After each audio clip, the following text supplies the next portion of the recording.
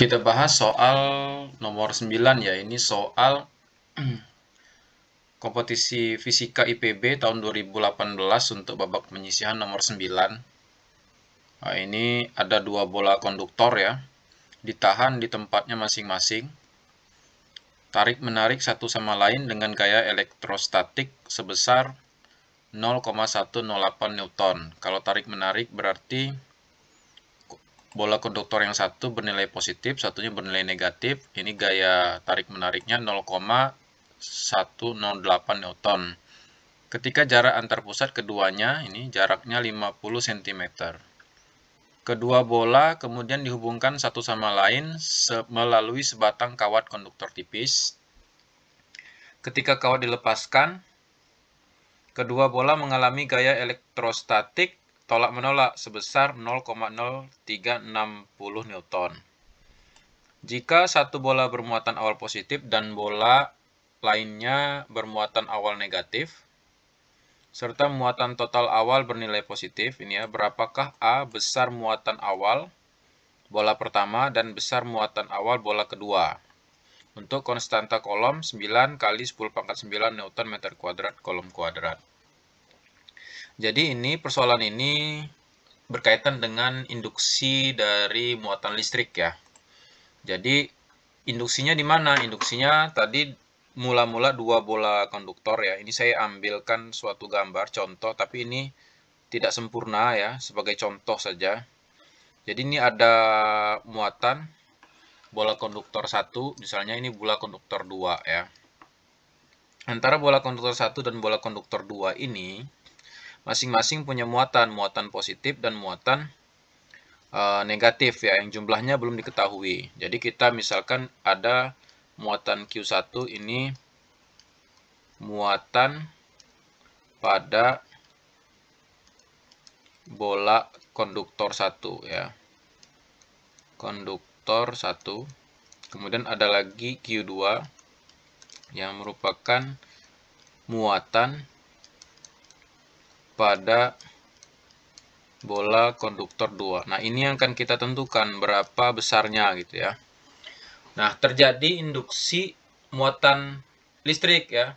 Karena kedua muatan tadi dihubungkan satu sama lain melalui sebatang kawat konduktor tipis. Setelah itu dilepas.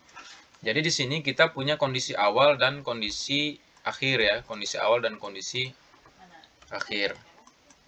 Nah, sebenarnya apa sih yang ingin diceritakan dari soal ini? Soal ini ingin menceritakan, jadi misalnya, ini ada bola konduktor tadi, ini kita mewakili sebagai bola konduktor tadi ya. Bola konduktor ini didekatkan ke suatu bola konduktor lain. Maka akan terjadi induksi muatan. Nah, ketika terjadi induksi muatan, hasil akhir kedua muatan tersebut akan sama-sama e, bernilai bisa positif semua, bisa negatif semua ya, bergantung situasi dan e, kondisinya gitu ya. Ya, jadi dari dua buah muatan ini ini kurang sempurna. Jadi ada yang kita anggap sebagai bola konduktor, ada yang bukan ya. Jadi ini misalnya ini bola konduktor satunya, yang ini bola konduktor dua. Ini bola konduktor satu, ini bola konduktor dua. Oke, jadi yang ini tadi kan saya anggap sebagai ini bola kontur 1, bola konduktor 2. Atau ini bisa dihapus nggak? Nggak bisa ya. Jadi ini gini aja. Oh, ini kita anggap bola konduktor 1, ya ini bola konduktor 2. Dipisahkan gitu ya. Pada jarak tadi 50 cm. Jadi kita punya kondisi 1. Kondisi 1 di mana kalau kita gambarkan kedua buah bola tadi satu konduktor satu konduktor dua ya. Ini akan ada gaya kolom. Yang besarnya F12 ya. Yang saling tarik menarik F21 berarti ini muatannya bernilai positif yang ini bermuatan negatif. Yang kita belum tahu nilai muatannya berapa namun kita punya persamaan katakanlah F12 itu sama dengan F21 sama dengan F1 saja misalnya. Ini kan besarnya K muatan Q1 dikali Q2 per R12 dikuadratkan. Jadi kalau kita hitung di sini nilai F1 tadi ya dari soal ya nilai F1 0,108 jadi 0,108 sama dengan K nya 9 kali 10 pangkat. 9 Q1 nya belum tahu kita Q2 juga belum tahu. Jarak keduanya kan setengah meter dikuadratkan. Ya R12 itu kan 50 cm atau 0,5 meter. Ya jadi diperoleh 0,108 sama dengan 9 kali 10 pangkat 9 Q1 Q2 per seperempat nah kemudian ini berarti 0,108 sama dengan ini berarti 4 kali 9, 4 kali 9, 36 kali 10 pangkat 9 Q1, Q2. Maka nilai Q1, Q2 itu sama dengan 0,108 dibagi 36 kali 10 pangkat 9. Jadi ini sama dengan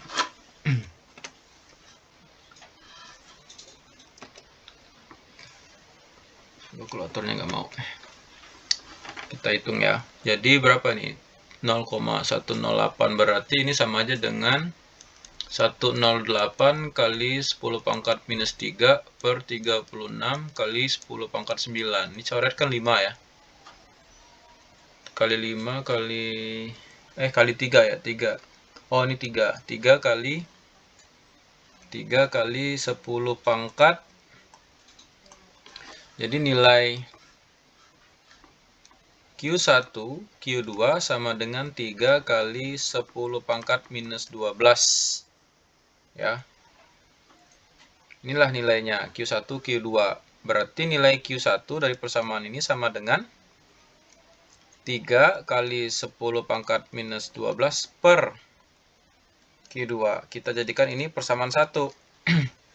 Kemudian kedua muatan tadi pada kondisi akhir pada kondisi akhir ya gaya kolomnya berubah menjadi F2 kita misalkan ya. F2 itu sama dengan F12 aksen ya. Yang besarnya K Q1 aksen Q2 aksen dibagi R12 kuadrat ya. Jadi jumlah muatannya berubah namun secara konsep gini terjadi perubahannya. Nah, besarnya Q1 aksen dan Q2 aksen ini, setelah keduanya dihubungkan, ya setelah di keduanya dihubungkan, kan mula-mula dia Q1 dan Q2. Jadi totalannya ini Q1 tambah Q2 kan gitu. Q1 ditambah Q2.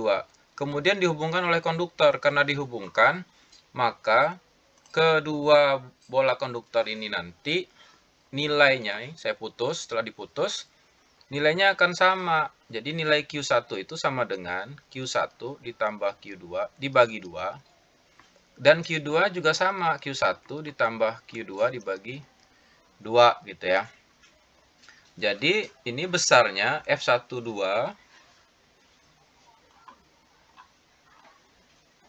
kita lihat dulu F12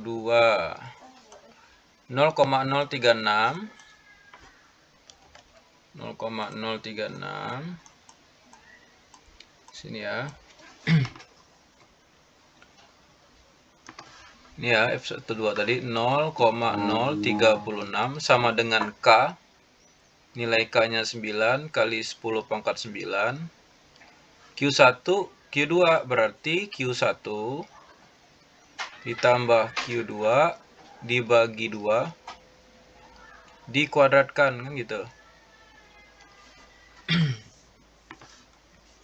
besar ini Q1 ditambah Q2 dikuadratkan. Jadi per bagi 2 jadi Q1 ditambah Q2 dikuadratkan. Harus dipahami ya dari mana nilai Q1 ditambah Q2 tadi ya. Karena bola konduktor ini kan mula-mula nilainya Q1 untuk bola 1 Q2 untuk bola 2 kemudian dihubungkan oleh kawat konduktor Sehingga jumlah totalnya kan nggak berubah nih Q1 tambah Q2. Namun besar muatan yang ada dalam bola konduktor 1 dan bola konduktor 2 menjadi sama. Yang nilainya Q1 ditambah Q2 dibagi 2 ya. Tinggal jumlahin bagi 2, sama. Kalau yang sebelumnya kan dia nggak sama. Namun kalau di total sama. Selanjutnya dibagi R12. R12-nya kan setengah tadi ya. Setengah kuadrat. Oh ini nggak dikuadratin. Oke maaf, ini tidak dikuadratkan. Oh enggak, kuadrat ya. Tahu ya kenapa kuadrat? Kan awalnya ini kan nilai Q1 aksen ini Q1 tambah Q2 per 2 dikali lagi dengan Q2 aksen yang nilainya juga sama yaitu Q1 tambah Q2 per 2 gitu ya. Maka kita peroleh 36 kali 10 pangkat minus 3 sama dengan 9 kali 10 pangkat 9. Ini tahu ya, 36 ini kan dari sini. Nilai desimal kita jadikan menggunakan notasi ilmiah. Ini nilainya dibagi dua.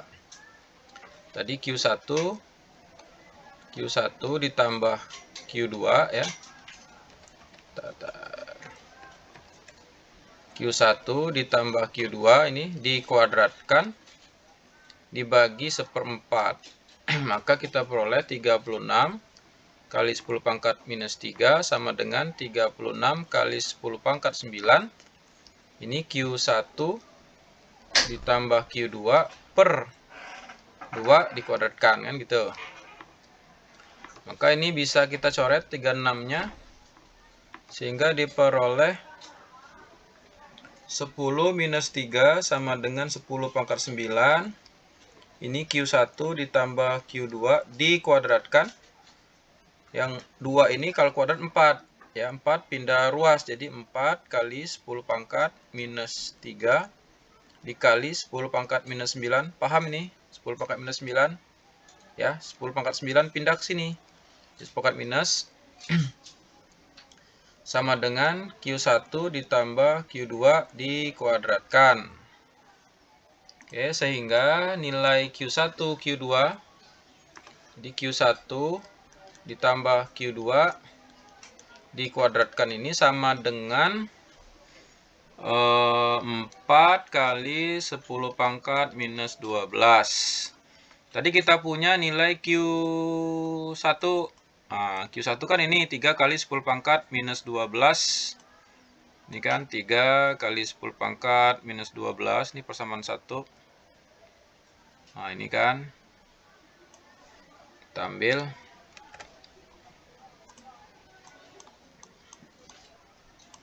Taruh di sini ya. Nah kita punya nilai Q1 tadi nih. Oke, kita substitusikan ke sini nilai Q1 Q1 nya kan ini 3 dikali 10 pangkat minus 12 per Q2 dikuadratkan sama dengan 4 kali 10 pangkat minus 12 kedua ruas sama-sama kita akarkan. Nah, kita akarkan sehingga diperoleh karena diakarkan muncul 3 kali 10 pangkat minus 12 per Q2 sama dengan 2 kali 10 pangkat minus 6 ya. Sehingga diperoleh nilai Q2. Nilai Q2-nya sama dengan sama dengan 3 kali 10 pangkat minus 12 per 2 kali 10 pangkat minus 6 oke maka nilai Q2 sini ya maka nilai Q2 sama dengan 3 per 2 kali 10 pangkat minus 6 kolom. Nah inilah nilai dari muatan Q2 sehingga dicari nilai muatan dari Q1